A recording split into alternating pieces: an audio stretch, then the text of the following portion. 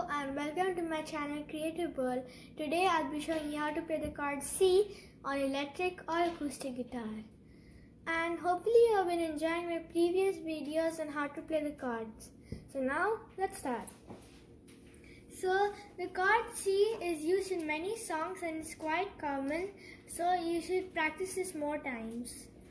Now we put a pointer finger on the second string first fret. We put our middle finger on the fourth string second fret and we put our ring finger on the fifth string third fret and press it hard so that it comes neatly. If it still doesn't come neatly, just try pressing it even harder. And now let's pick it one by one.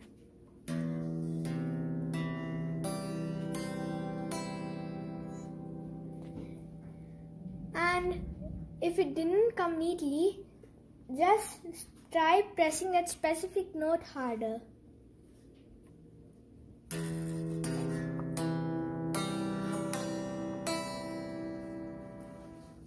Hopefully this is helpful for you guys and please make sure to hit the like button and subscribe. Thank you.